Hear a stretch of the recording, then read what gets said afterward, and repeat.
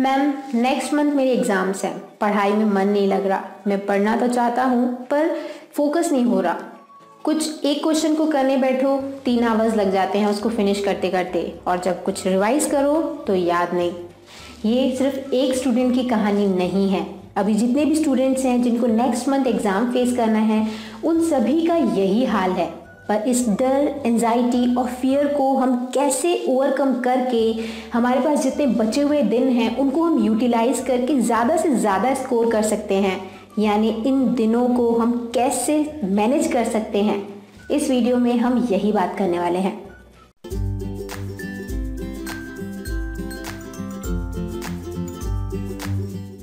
Hello friends I am Sonam I hope you all are doing great तो भी ज़्यादातर students के next month यानी मार्च महीने में एग्ज़ाम्स आने वाले हैं और सभी बड़े टेंशन में हैं। स्पेशली जो टेंथ और ट्वेल्थ के स्टूडेंट्स हैं, उनका जो टेंशन लेवल है, वो तो एकदम नेक्स्ट लेवल पर है। हालाँकि इस बात का कोई जस्टिफिकेशन नहीं है कि आपने साल भर क्यों नहीं पढ़ा, क्योंकि हम साल भर जो कंसिस्टेंट पढ़ाई करते हैं और हम जो अभी लास्ट के दिनों में पढ़ते हैं, उनमें ज़मीन आसमान का फ़र्क है। But let bygones be bygones अभी जो टाइम जा चुका है, उसको डिस्कस करके रिग्रेट करने का कोई फ़ायदा नहीं।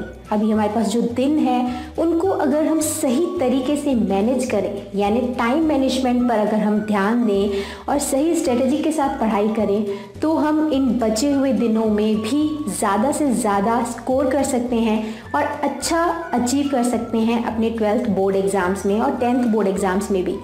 तो हम इस वीडियो में यही देखने वाले हैं कि हम ये दिनों को कैसे, यानी जो हमारे बचे हुए दिन हैं, उनको हम कैसे सही तरीके से मैनेज कर सकते हैं। पूरे साल भर का जो टाइम टेबल होता है और जो ये बचे हुए दिन हैं, इनका जो टाइम टेबल है, उनमें बहुत डिफरेंस होता है। अभी हम ये नहीं बोल सकते कि हमारे पास 24 घंटे हैं। उनमें से हमको छः आवर्स के लिए तो सोना है सेवन आवर्स के लिए। बच्चे 17 आवर्स उसके बाद हमको तीन चार आवर का coaching then sleeping hours playing फिर हमारे पास टेन आवर्स बचे। फिर दो दो घंटे पढ़ेंगे हर सब्जेक्ट तो हो जाएगा। No it's a wrong approach अभी आपको सही तरीके से स्मार्ट तरीके से स्ट्रेटजी बनानी है और टाइम को मैनेज करके पढ़ाई करनी है। आपके कोर्स की इन्फॉर्मेशन आपके पास है। आपका टाइम टेबल एग्ज़ाम का जो टाइम टेबल है, वो आपके पास है। आपके जो वीक सब्जेक्ट्स हैं, उनकी इन्फॉर्मेशन आपके पास है। जो आपके स्ट्रॉन्ग सब्जेक्ट्स हैं, उनकी इन्फॉर्मेशन आपके पास है। अब आपको ये सारी इन्फॉर्मेशन को यूज़ करके एक ऐसी स्ट्रेटजी तैयार करनी है कि आप 30 दिनों में भी 360 दिनों की पढ़ाई कर पाएँ। और हम कैसे करेंगे? हम ये टाइम मैनेजमेंट से करेंगे। अगर हम टिप्स वाइज बात करें तो सबसे पहला जो टिप है आपके टाइम मैनेजमेंट का, वो है टाइम कैलकुलेशन आपके एग्ज़ाम्स का टाइम टेबल आपके पास है। अब आपको क्या करना है? अभी आज के बाद से, जब भी आप वीडियो देख रहे हैं, उसके बाद से आपका जो एग्ज़ाम है, उनके बीच में आपके पास कितने दिन हैं, आपको वो कैलकुलेट करना है। वो कैलकुलेट करके आप अराउंड अराउंड आवर्स जैसे अगर आप टेन डेज़ अगर सपोज़ आपके पास थर्टी फाइव डेज़ हैं और राइट यानी अगर आपके मार्च फाइव और सेवन्थ ऑफ़ मार्च से अगर आपके एग्ज़ाम स्टार्ट हो रहे हैं तो आपके पास अराउंड थर्टी प्लस यानी थर्टी फाइव अराउंड डेज़ हैं। और अगर आप हर दिन दस घंटे भी पढ़ते हैं तो आपके पास तीन सौ पचास घंटे हैं।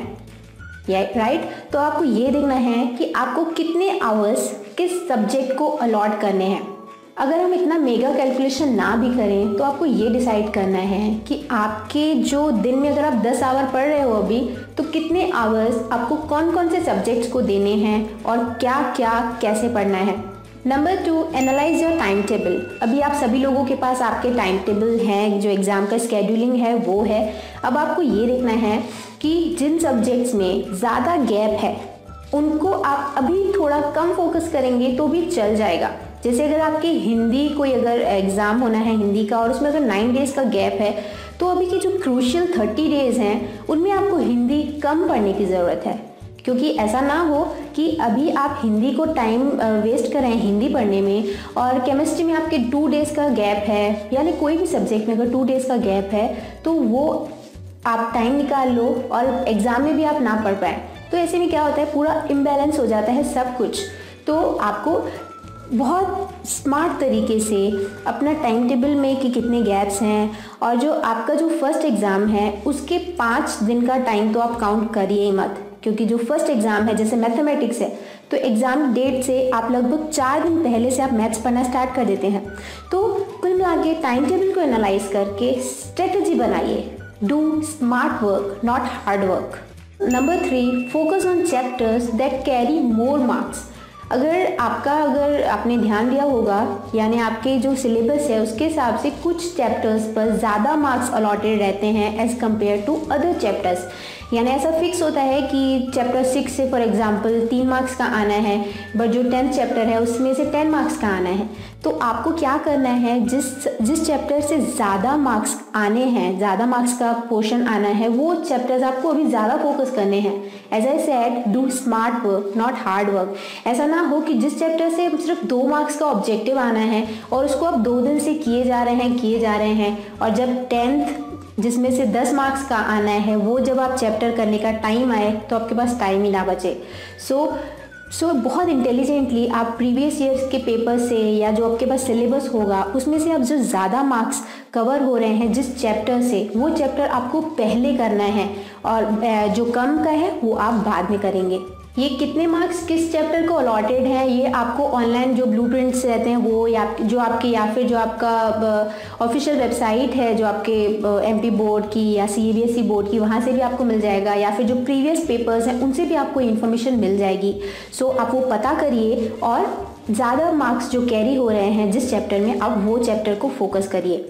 Number four make small goals and achieve them हमारा जो प्रीवियस वीडियो था how to achieve 90 percent marks in 30 days में भी मैंने आपको ये बोला था कि स्मॉल गोल्स को बनाइए, उनको अचीव करिए। जैसे अगर आप दो घंटे पढ़ रहे हैं और राइट तो उसमें आप ये डिसाइड कर लीजिए कि मुझे ये सेट पेपर ये सेट पेपर फिनिश करना है या दस क्वेश्चन है इंपॉर्टेंट वो फिनिश करने हैं। ऐसे में आप फोकस रहते हैं और ये टाइम मैनेजमेंट की सबसे इंपॉर्टेंट प्रैक्टिस है जिसको टॉपर्स भी फॉलो करते हैं। So make small goals and achieve them इससे आप फोकस डाइवर्शन से बचे रहते हैं और आपके टाइम का बहुत सही यूज़ हो पाता है।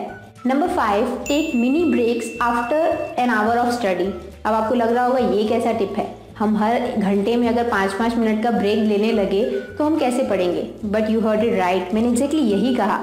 अगर आपको फोकस डाइवर्शन का प्रॉब्लम है, यानी आपको फोकस ज़्यादा देर तक एक चीज़ पे नहीं टिका रहता तो आप फोकस्ड बने रहने के लिए आपको क्या करना है? जैसे अगर आप एक घंटे में 55 मिनट्स की आप स्टडी कर रहे हैं तो आप 5 मिनट का ब्रेक ले सकते हैं। उस ब्रेक में आपको कोई भी गैजेट्स यानी टीवी या मोबाइल पर नहीं जाना है, क्योंकि ये चीज़ें बहुत टाइम टेकिंग है। ऐसे ऐसे टाइम वहाँ पे निकल जाता है, आपको पता भी नहीं चलेगा।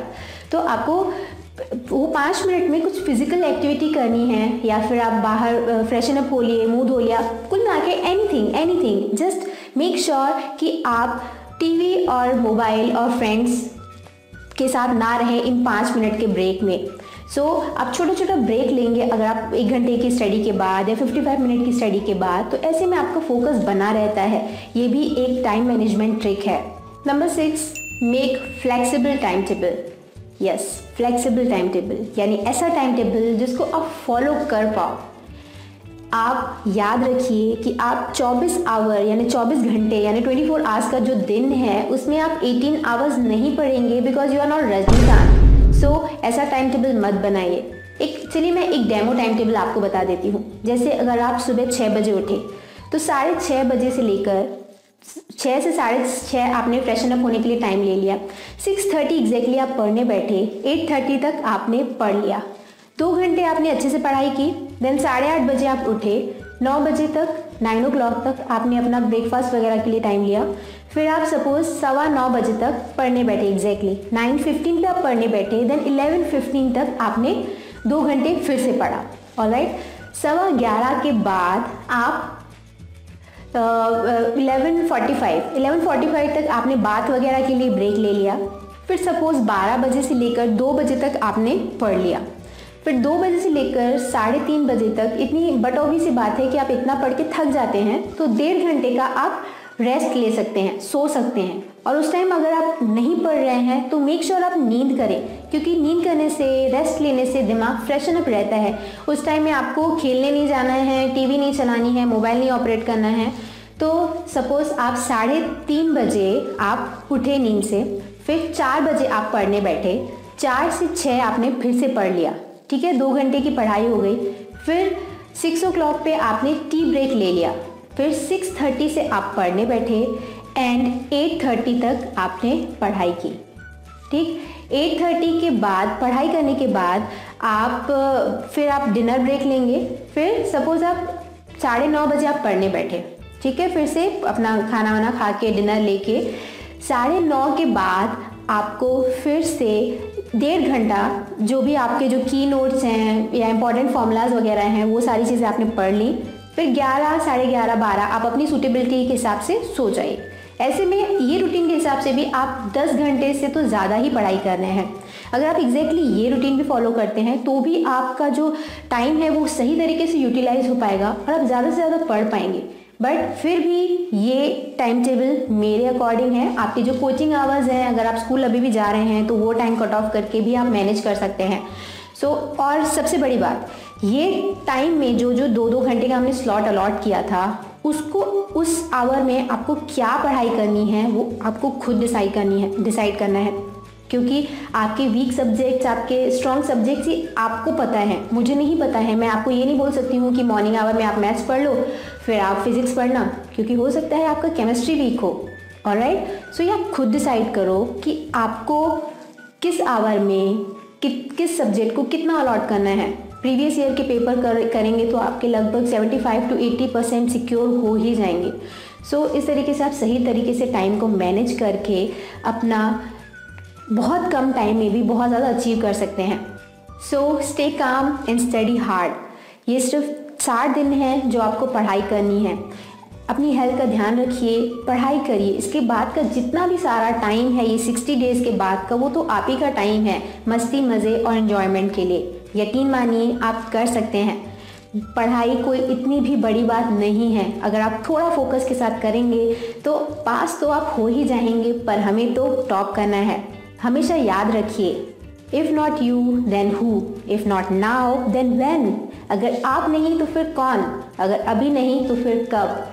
टाइम है फ्रेंड्स पढ़ लीजिए। So on that note I am signing off I hope इस वीडियो से आपने रिलेट किया और आपको कुछ न कुछ टाइम मैनेजमेंट में हेल्प ज़रूर मिलेगी। अगर ऐसा है तो इस वीडियो को लाइक ज़रूर करें और शेयर भी कर दें अपने सोशल मीडियम्स पर। और शेयर करने के लिए ऐसा ज़रूरी नहीं है कि आप भी एक स्टूडेंट हो। हो सकता है कि आपका एक शेयर आपके अराउंड कुछ जो भी स्टूडेंट हैं, जो अगले महीने एग्ज़ाम फेस करने वाले हैं, उनको हेल्प मिल पाए। आपका लाइक शेयर मुझे एनकरेज करता है कि मैं और अच्छे वीडियोस बना पाऊँ इन फ्यूचर और आप सभी की जितनी हो सके उतनी हेल्प कर पाऊँ। और अगर अभी तक आपने हमारे चैनल को सब्सक्राइब नहीं किया है तो सब्सक्राइब कर लीजिए, क्योंकि इन्फॉर्मेशन सेंटर एक ऐसा हब है जहाँ पर आपको हमेशा कुछ न कुछ इन्फॉर्मेटिव और नॉलेजेबल ही सीखने के लिए मिलता है। और ज़रूरी नहीं कि वो एजुकेशन रिलेटेड हो या फिर टेक रिलेटेड हो यहाँ पर मल्टी फील्ड्स में आपको कुछ न कुछ रिसर्च वेल रिसर्च जानकारी दी जाती है जो कहीं ना कहीं जीवन में आपको काम ज़रूर आएगी। सो इन्फॉर्मेशन सेंटर को सब्सक्राइब करिए वीडियो को लाइक करिए शेयर करिए और अगर आपके कोई डाउट्स हैं तो मुझसे आप नीचे कमेंट सेक्शन में पूछ सकते हैं। हो सकता है मैं आपकी कुछ हेल्प कर पाऊँ। सो so, मिलते हैं हमारे अगले वीडियो में with another very interesting topic see you in the next video bye bye thanks for watching